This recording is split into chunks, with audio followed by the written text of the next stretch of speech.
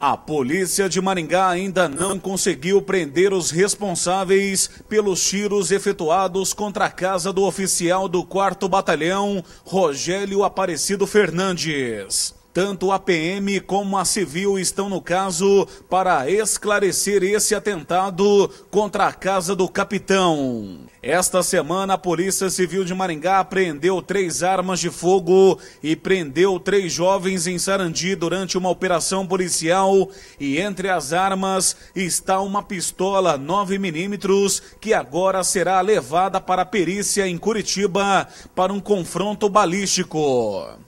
E para falar sobre esse caso envolvendo a residência do capitão Rogério do 4 Batalhão da Polícia Militar de Maringá, aqui ao meu lado está comigo o delegado-chefe da nona subdivisão Osnildo Carneiro Lemes. Doutor, a polícia segue nas investigações, tanto a civil como a militar também, né? Sim, a linha externa da investigação ficou a cargo da Polícia Civil, inclusive o delegado Najib, que está fazendo essas investigações.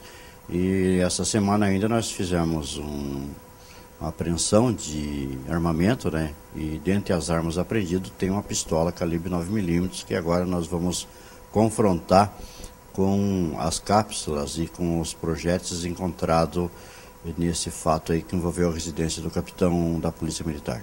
Algumas informações já chegaram até ao conhecimento do senhor, informações também para a Polícia Militar, mas nada de concreto até agora, né?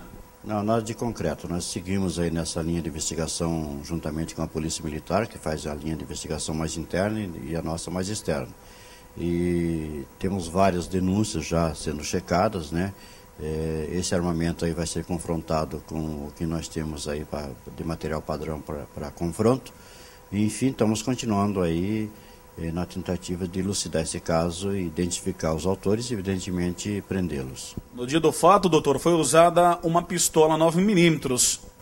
Exatamente. A munição que nós encontramos no local foram projéteis de calibre 9mm. E por essa razão que nós estamos confrontando agora com essa arma apreendida.